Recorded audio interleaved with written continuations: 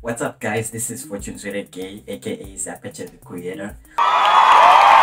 Welcome to another YouTube video. By the way, we are just currently sitting at around 32 subscribers, which is really small. So I would really appreciate a like or a subscribe or even a share if this kind of content is your thing. Not forgetting to comment down below if you just want to give props or if you feel like there is something that we need to improve in the channel.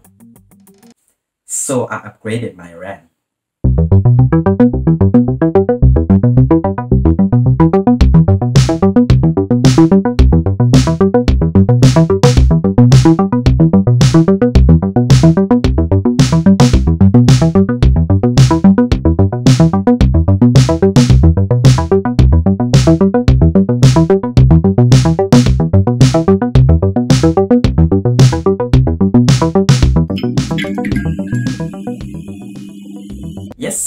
put 12 gigs of RAM in this small 14 inch baby. As you have seen on the b-roll at the beginning, I'm using a Lenovo Yoga 530 as my daily driver.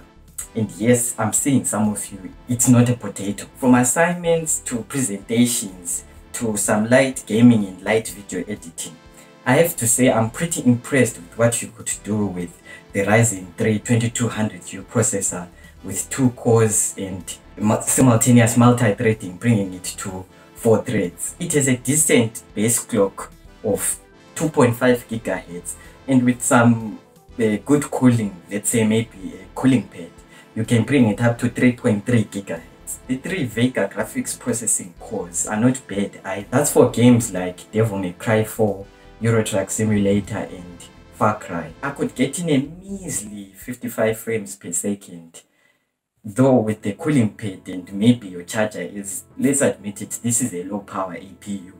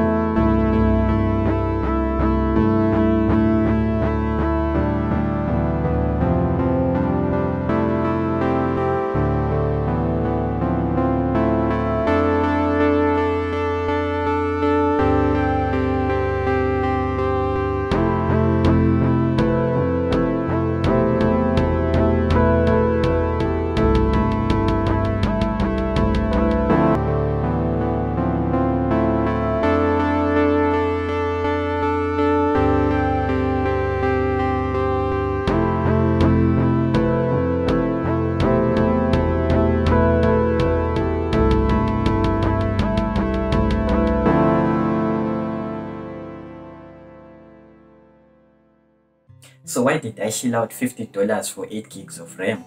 So I found out that on most of my tasks are mostly uh, memory bottlenecked before I get CPU bottleneck. That is 8 gigs of RAM just wasn't cutting it for multitasking. If you use Adobe's Creative Suite, well, you probably know what I'm talking about. Uh, sometimes you have to jump between Premiere and After Effects and maybe open a few Chrome tabs while watching some YouTube video or something. So there's a lot of RAM that's needed there. Guys, rendering on 8 gigabytes of RAM is a nightmare. It's just, oh! Bruh.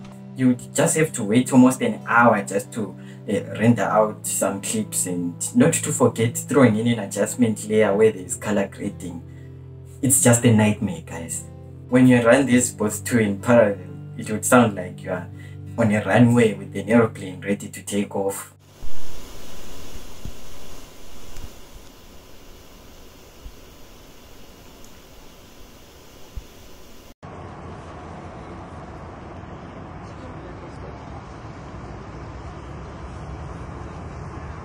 So upgrading my RAM definitely mitigated a lot of those problems.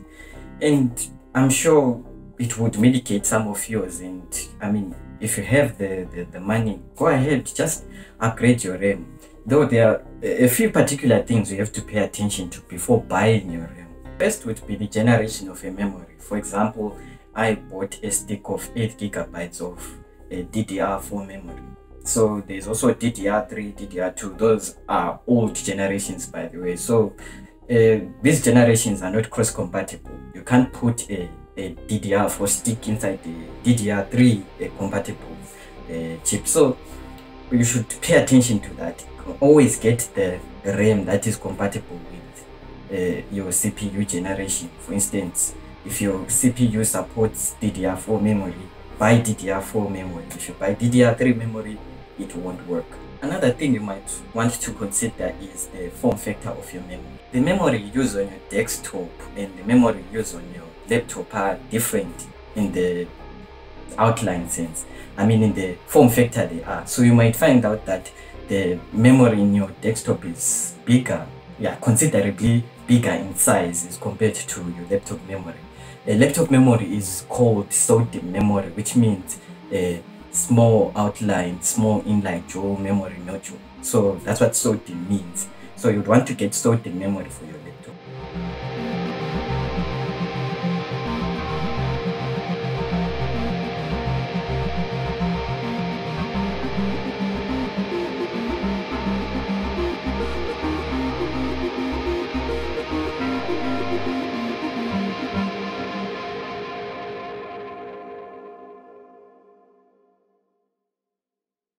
So if you have the generation covered in the type of form factor, you are okay, but maybe you would also have to consider the clock speed of your memory module.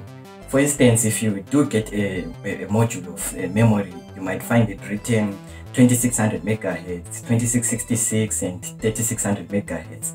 Well, this is the, the speed at which the memory uh, transfers uh, data between it and the central processing unit.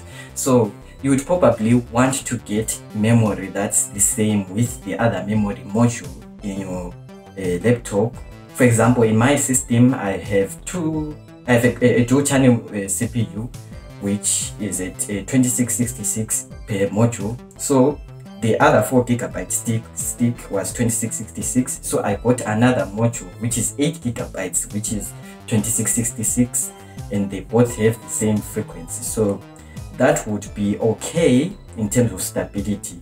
You might run into instability if you get you know different memory modules with you know, different frequencies. So make sure you get memory which is more or less the same frequency or better frequency. For instance uh, it would be better if you get something like a 3600 uh, mega transfer or 2600 megahertz memory uh, both of those your dual channel system would work quite well with it. Another thing to consider would be cache latency. A simple way to put it is uh, cache latency uh, tells you about the delay that the RAM goes through before it accesses the memory from itself.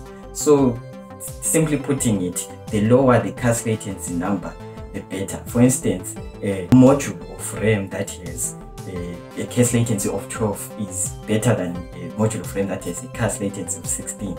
So you might uh, have this conundrum of a, a module having 3600 uh, megahertz but with a very high cache latency.